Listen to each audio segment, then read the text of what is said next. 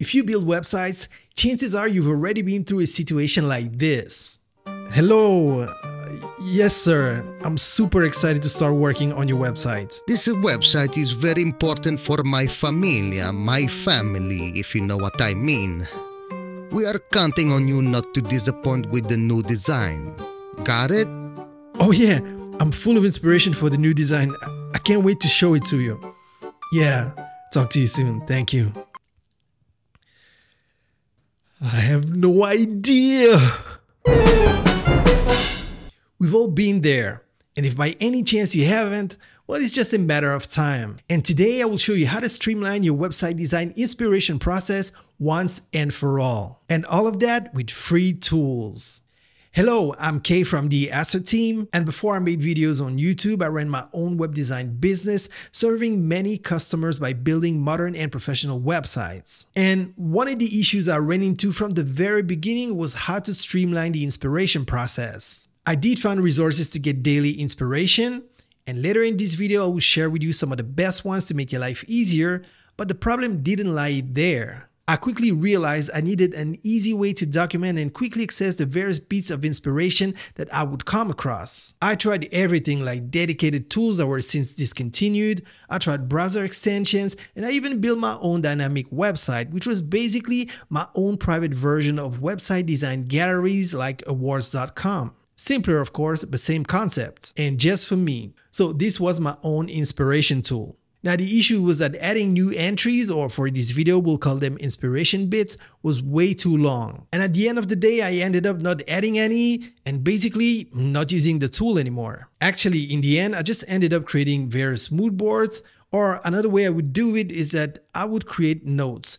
Basically, I would organize the notes per month with keywords, and when a new project would come in, well, I would just open the links one by one and get my inspiration from there. It kind of worked, but it's definitely not the best way of doing things. Quite the opposite. Now fast forward to today where we can use a couple of free tools to build a powerful swipe file. And if you're wondering, a swipe file is a collection of marketing materials that can be used as inspiration and a reference for content creation, allowing a web designer to quickly pull relevant ideas and inspirations leading to innovative designs. And to a lot of time saved. The first free tool is a browser extension called Awesome Screenshot, which you can install on several browsers. So just head to Google and type Awesome Screenshot. So I'm going to click here on the link and just click on Add to Chrome. And actually, I'll be using this tool on two different browsers for demo purposes. Right now I'm in Brave, but Brave can use the Chrome extensions. So let me click on Add to Brave and Add Extension. It's asking me to sign in, but I can just skip and now it's instructing me to pin the extension. Not sure that's mandatory, but let me do it. So let me pin it. Next, grant access and click allow. Now let me go back to full screen and now it's asking me to add some more stuff, but I'm just going to skip it. And there you go, quick and easy. Now there is one setting we're going to change. So let me go back here, open the extensions icon and click on Awesome Screen Recorder. And here at the bottom, you see the options icon. So click on it. And now I'm going to scroll down and where you see saving preferences, you want to save the screenshot as JPEG instead of PNG. And the reason is simply that the JPEG is going to have a lower file size. That will make sense with the second tool we're going to use. Because the second tool we're going to use is a free tool called Notion. And in its free version, you are limited to 5 megabytes per file that you upload. So this is the reason why we changed from PNG format to JPEG format, so that the screenshots we're going to take as inspiration bits are under 5 megabytes. Now, of course, if you have the pro version of Notion, you're not limited by this file size. But if you're using the free version, changing this setting is very handy. Now, if it's your first time hearing about Notion, Notion is a workspace for note-taking, knowledge, data management, as well as project and task management. Now, let me show you how easy it is to create a swipe file with Notion. So first of all, go to Google and type Notion, then click on the first link, and you can create a free account with your Google account, for example. So click on Login, and you can create with Google, Apple, or single sign-on. So I'm going to choose Google, choose the account you want to use, and click on Continue. Now choose an option here and click on continue. Choose team or on your own. I choose on my own. Continue. And more questions. I'm just going to skip this. Let me just select projects, continue. And my space is going to be called K. Then click on continue. Now it's prompting me to go for the plus plan, but no, no, no, we want free here. So I'm going to click on no thanks, continue to free plan. And there you go. So initially they ask a lot of questions, but you only need to do this once. And now you're in completely free of charge. So first of all, here is the private. I'm going to click on the plus sign, add a page, and let me call it inspiration. Now you may want to call it swipe file, but I choose to call it inspiration. Next, I'm going to click here, then click on the plus sign, and I'm just going to start typing DB. DB stands for database, and we're going to choose the first one, database inline. So that database is going to help us organize our swipe file. It's going to make sense in a moment. So here you see link or create a database, click on it. And right here you see the three dots. You want to change the layout and select gallery. Now let's go back one step, then click on properties. And as you can see, the only property we have right now is the name. So click on new property and select date. Now for the date format, I'm going to choose year, month, day. All right. Now let me go back one step. And now if I close this, click on add new page, you see I have the name on top here and then the date. So it worked.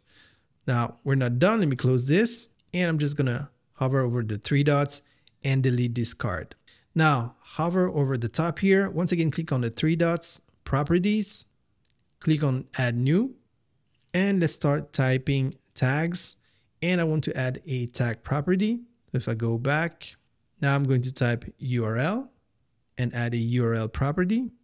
Now let me go back one more time and I'm going to type select. Let me select it, no pun intended. And there where you see options, I'm going to add a couple of options. The first option is hero, which stands for the hero section, which is the main section you see on the web page. The first section you see, which is nowadays usually bold with a big image, but your mileage may vary. All right, so let me type enter. Now let me add another one called page and let me type enter. Now we can add a lot more, but I want to keep it simple here. Now that's going to help us to categorize the various inspiration bits within our database. Now there are several ways you could organize the database. This is my way of doing it, but you can organize it just with tags. It's really up to you. But I'm going to show you my way. Okay, let's go back. Let's close this and let's add new entries. So my first inspiration bit is this gorgeous hero section. So let me get out of full screen and I'm just going to click here on the awesome screenshot extension. Make sure I click on capture because by default it's on record. So let me go back to capture and I can either use visible part, which is what I see right now, full page or selected area. In my case, I just want the visible part. So let me click on it and there you go. So what I can do is just click on copy. Then let me go back to my Notion tab, click on add new. I'm going to call it Sigany Hero. Sigany is the name of the website, the date. And the reason why I use dates and you don't have to do it is because maybe one year from now, I want to know, a what happened in January? What was trending? Or what did I like that month? Just helping me to organize things further. Next, we have our select field. Actually, we should rename it to type. Enter. So for type, I'm going to click here. And in our case, it's a hero section. Next, I'm just going to copy the URL and paste it here. And now for the tag, well, I'm going to add colorful. For the tag, I realized I made a mistake. So let me click on tag, edit property, and see for the type of property, it's set to text. Now let's change this to multi-select.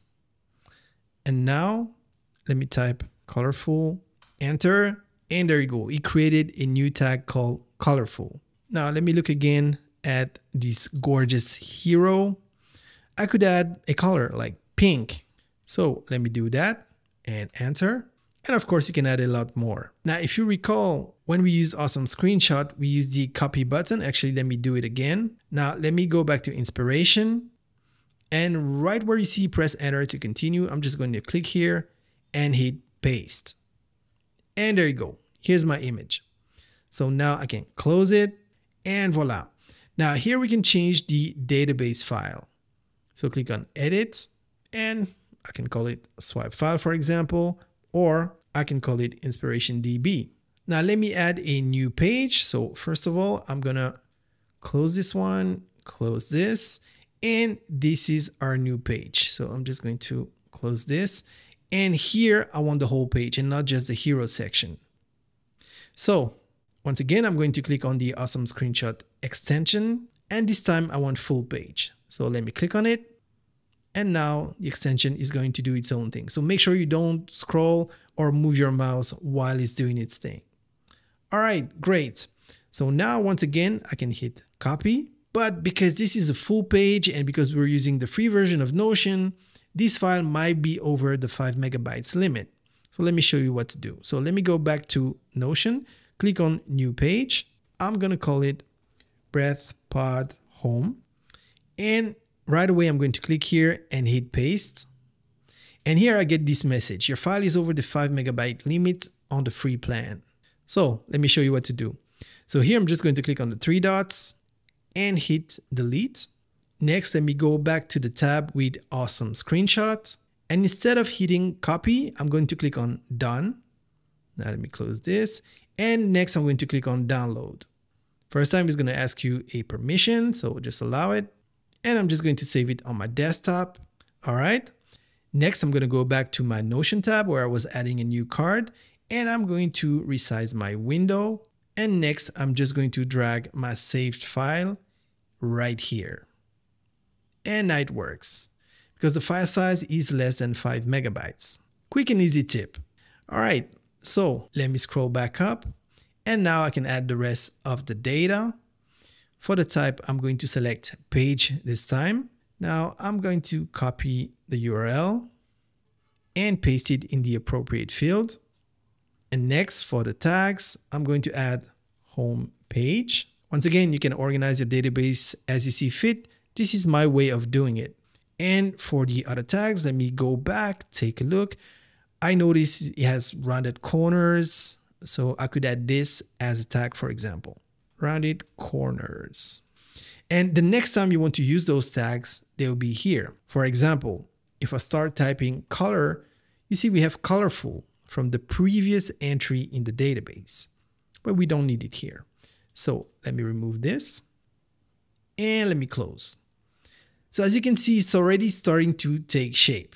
Let me go back into full screen mode and let me get rid of the sidebar so that we're not distracted. So it's already looking beautiful. Now, one thing you can do is click on the three dots here, then go to layout. And where you see card size, click on it.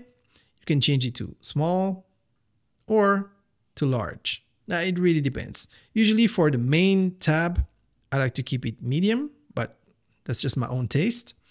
And then as you're going to see in a moment, we can add new tabs here. So first of all, if I click on the tab gallery, I'm going to rename it to all.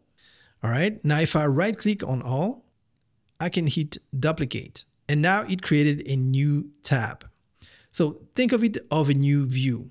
It's going to make sense in a moment. So here I'm going to rename it page, then click on filter and where you see type, I'm going to select page and there you go. So now on this tab or view, we'll only see database entries with the type page. And by the way, if you notice here, it's a full page, but it's a weird thumbnail. So we can just click on reposition and then you can drag the image. So let me go all the way up and hit save position. Next, as you can see, there's a lot of info here. We see the name, the date, basically we see everything, but you don't necessarily want that. So if that's the case, all you need to do is click on the three dots, then properties, and next to each property, you see an eye. So you can just click on it and remove it. Or you can hide all or show all. It's really up to you. Next, let me right click on the page view tab, hit duplicate, and let's call it hero. Next, click on filter, and this time where you see type, we're going to select hero and deselect page. And as you may imagine now, we only see database entries with the type hero. So we have all, and we have page, we have hero, but we can do more. So let me duplicate the all tab view and let me call it per type. Now go to group and select type. So now as you can see on this view, it automatically separates each type. We have two types, so hero and page. Now you can drag a view here just to replace it. So you can really organize your swipe file as you want. Now let me go back clicking on the three dots. If I go back to group, then let's go back to group by and I could select by tag. Really, sky is the limit. Now let me show you a more complete swipe file. And I think you can start to see how it can really help to visually see all of that. And I got my different views. Here I got by type, by tag. I even have an identity view because here I like the identity. So I can click on it, start scrolling and instantly I get the vibe of this type of dark design and it may be super appropriate for a project I'm working on. Now let me go back I got logo, page, as you saw, header, like for example here, I like this header. I can click on the plus sign here. And as you can see, this header is beautiful. Now the header is the logo and the navigation, so it's the whole thing. But maybe I just want to get inspired for navigation. So let me click on the nav tab and here I have a full screen nav.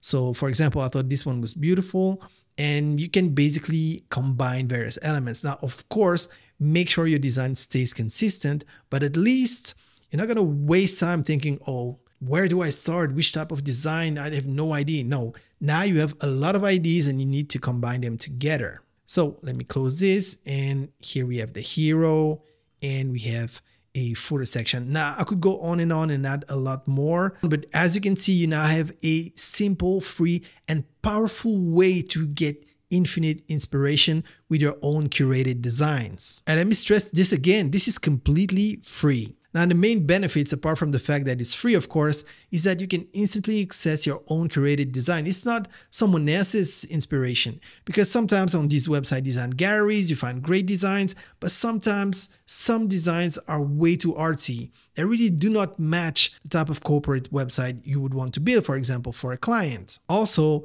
not all websites are on these website design galleries. So you may come across while you're browsing or while you're searching for I don't know which reason, maybe you're not even looking for a good design, but you stumble upon a beautiful website or one part of the page, a hero, the footer, whatever.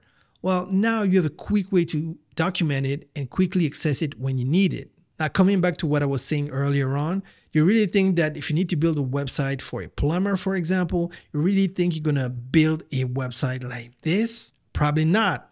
But if I go back to my swipe file, Something like this may well be a good foundation. It may seem like nothing, but you can't imagine the amount of time you're going to save. Not to mention the main benefit of creating awesome websites without ever lacking inspiration again. And cherry on the cake, eh, you get to stay alive if you stumble upon customers like me.